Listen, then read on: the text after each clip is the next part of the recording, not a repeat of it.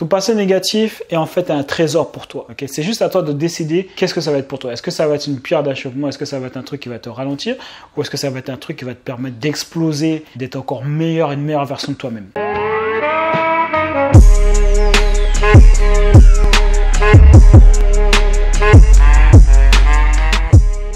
Alors bonjour et bienvenue sur cette nouvelle vidéo. J'espère que les gars vous allez bien depuis la dernière fois. N'hésite pas à t'abonner, à cliquer sur euh, la notification, la cloche pour voilà les connaître. Hein. Donc alors l'idée de cette chaîne c'est que tu puisses être libre géographiquement, d'accord? Tu puisses voyager où tu veux, quand tu veux. Nous on aime ça, on aime la liberté nous. On aime être libre. Laissez-nous tranquille. Ok, nous on veut être libre. Donc du coup, euh, moi je m'appelle Jonathan Hachi. Voilà, donc moi j'ai créé mon premier business ligne euh, sur le saxophone en 2016 qui m'a rapporté 2000 euros par mois en moyenne. Ok, donc maintenant je vous aide à faire la même chose. Donc tu as tout en description pour pouvoir aller plus loin. On est toujours dans le cadre des questions-réponses. On m'a posé la question comment se débarrasser de son passé euh, négatif? Ok, donc comment euh, se débarrasser de, son passé négatif? On a tous un passé généralement négatif. D'ailleurs, bonne nouvelle, en général, ceux qui ont galéré quand ils sont jeunes, euh, bah, ça leur donne euh, la niaque, d'accord? Ça leur donne, euh, je sais pas, euh, une différence qui fait qu'ils ont des gros résultats dans leur vie par la suite. Ok, c'est souvent le cas. Donc moi, première chose que je vais te dire par rapport à cette question, en fait, l'objectif c'est de ne pas te débarrasser de ton passé négatif. Tu n'as pas besoin de te débarrasser de ton passé négatif. Ton passé négatif est en fait un trésor pour toi. Ok, c'est juste à toi de décider qu'est-ce que ça va être pour toi? Est-ce que ça va être une pierre d'achoppement? Est-ce que ça va être un truc qui va te ralentir?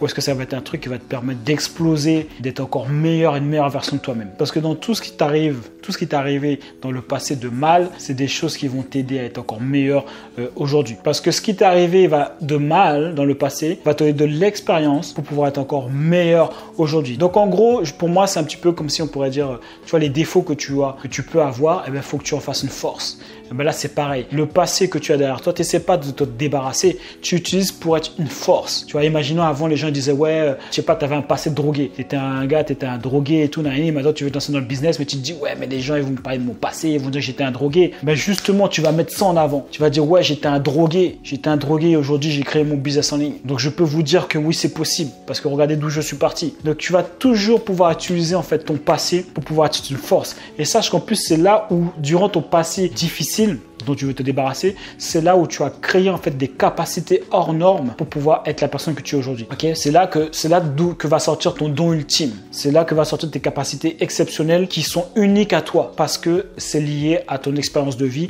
et ce que tu as traversé. Donc non, ton objectif ce n'est pas de, te débarrasser de ton passé, mais de l'utiliser comme une force. Tu vois, ça me fait penser un petit peu comme euh, Kevin Hart. Je sais pas si tu, vois c'est qui.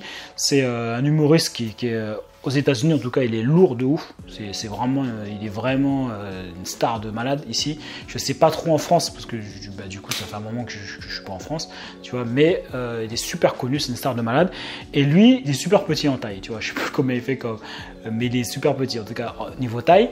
Et il en a fait une force en fait. Ça veut dire qu'il en a fait une force. C'est devenu son marketing. Ça veut dire qu'il il, est, en autodérision par rapport à sa taille et, il met ça tout, le temps en avant et il fait des blagues par rapport à ça. Et je pense que c'est l'une des forces qui a fait qu'il a cartonné. Parce qu'il est en autodérision par rapport à ça et tout le monde le gaze, même les gars de la NBA, tout ça, machin, ils le gazent et tout. Et du coup, bah, ça s'est transformé en un truc super marrant qui fait une différence par rapport aux autres humoristes. Et c'est devenu, son, entre guillemets, son défaut est devenu une force de malade. Une force de malade par rapport à qui il est devenu aujourd'hui. Donc en fait, il faut toujours voir les choses comme ça. Tout ce qui t'est passé dans le passé, c'est juste des forces de ouf que tu peux utiliser pour pouvoir aller plus loin. Et après, donc du coup, comme c'est un peu large cette question, peut-être que si c'est des gens qui t'ont fait du mal ou qui n'ont pas cru en toi avant, je sais pas quoi, eh ben ça te met une occasion de pouvoir leur montrer, avoir une détermination pour pouvoir leur montrer que c'est toi qui avais raison. Une détermination qu'on sache qui, dis-leur qui tu es. Donc voilà, c'est tout pour cette vidéo. N'hésite pas à me mettre un j'aime et un j'aime pas, à me dire un petit peu ce que tu en penses aussi dans les commentaires. Et si jamais tu es